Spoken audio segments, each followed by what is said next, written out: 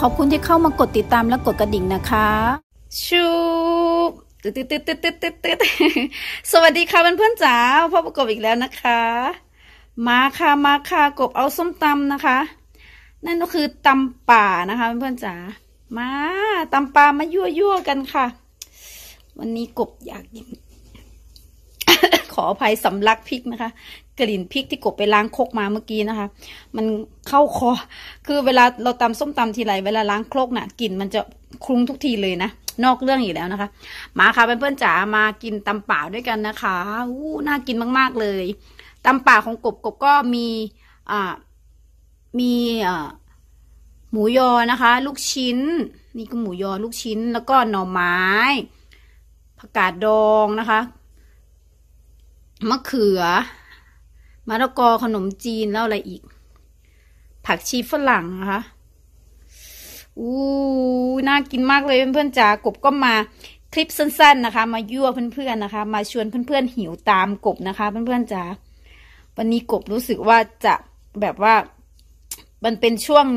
ช่วงนั้นของวันนะคะ เพื่อนๆจ๋าก็จะ ของของเดือนนะคะ มันก็จะแบบโหยนะคะ แบบรู้สึกว่าอยากกินมาก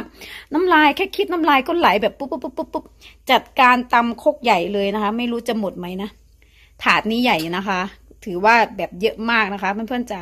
มาดูกันนะคะ ว่ากบก็จะมีตบท้ายด้วยอะไร ชูบนะคะ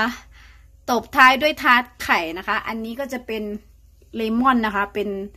ขนมปังแบบนุ่มๆนะคะกบ กบกบไม่รู้ชื่อนะกบต้องขออภัยนะกบก็แบบขนมปังแบบนุ่มๆนะคะแล้วก็เป็นกลิ่นของเลมอนนะเพื่อนๆจ๋า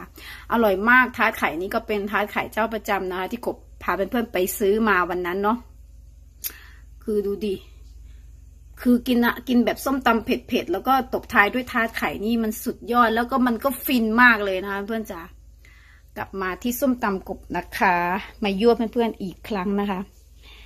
ถ่ายวนไปวนมานะคะ รอคุณสานะคะอาบน้ำเสร็จ